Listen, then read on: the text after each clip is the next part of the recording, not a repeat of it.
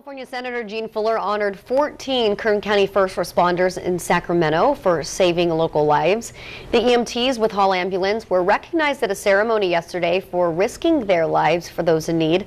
The Stars of Life event honored 50 paramedics, EMTs, and dispatchers from across California. Happening today, thousands